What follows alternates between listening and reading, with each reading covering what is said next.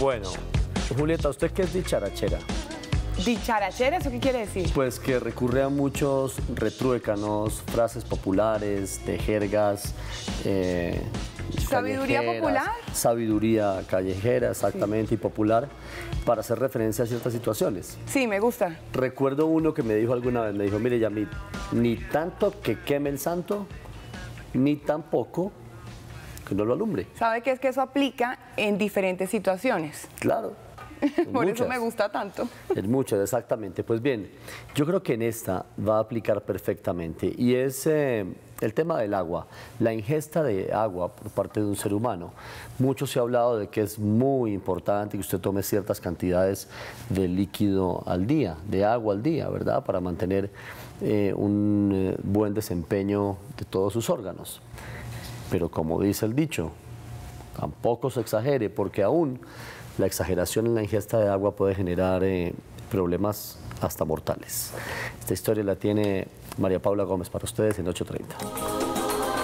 Hola Juli. Hola, María. Buenas noches, ¿cómo están? ¿Qué tal? María. Efectivamente, como usted lo ha dicho, estas de esas notas corticas, pero yo sé que va a ser de gran interés para las personas amantes del deporte y la actividad física. Mire, como usted lo ha dicho, muchos nos han hablado del tema de tomar agua y de la importancia de estar hidratados, pero poco nos han hablado del tema de la sobrehidratación. Así que si bien es cierto que tomar poca agua es malo, tomar mucha también lo es. Aquí en la siguiente nota van a ver qué es lo que ocurre cuando usted toma mucha agua, cuando está sobrehidratado y cuáles van a ser los efectos.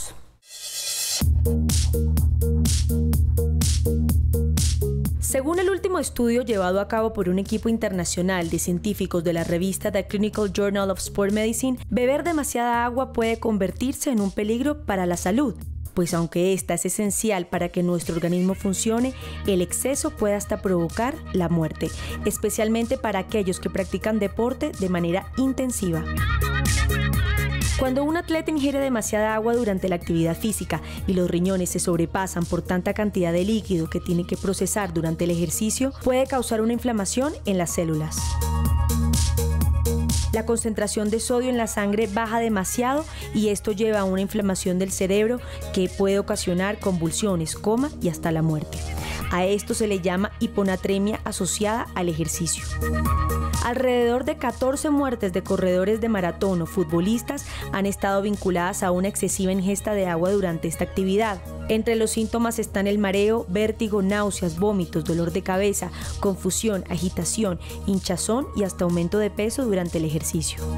Según un profesor de la clínica Whiteley en Londres, la sobrehidratación puede causar también sudor excesivo e insomnio. Lo recomendable es tomar uno o dos litros de agua al día, que incluyen los jugos, el té, café e incluso hasta el agua en frutas y verduras, aunque el mejor indicador es beber este líquido vital cuando se tiene sed. Mari, pero entonces vale la pena en la próxima cita con el especialista que tenga darle algunos datos de su vida para que él mismo le diga cuál es la cantidad apropiada de agua para su cuerpo. Eso depende de su sexo, de su edad, de qué tanta actividad física realice. Y hay algo muy importante. Los especialistas dicen que el color de la orina dice mucho. Si es muy clara, quiere decir que usted está poniendo al límite sus riñones y es muy posible que esté tomando mucha más agua de lo debido. Bueno, muy bien. Muchas gracias, María. A ustedes. Es tiempo de hablar de arte aquí en 8.30. La imagen que a continuación ustedes van a ver hace parte del trabajo de Ronald Chibuque.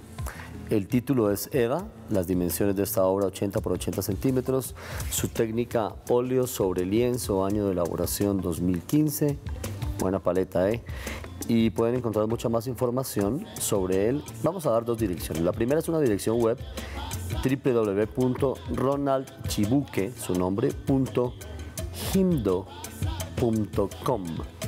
Y si consideran más fácil, pues le pueden escribir a chibuqueart.gmail.com. Mística la música tuya mulata, bien coqueta, muy hermosa, pero saca tu cuerpo de mi cabeza y acataca, parte de mi cerebro que sobrecalienta y me mata. La idea de pensar que por ahí tú andes suelta, pero cuelga ya tus guantes que ahora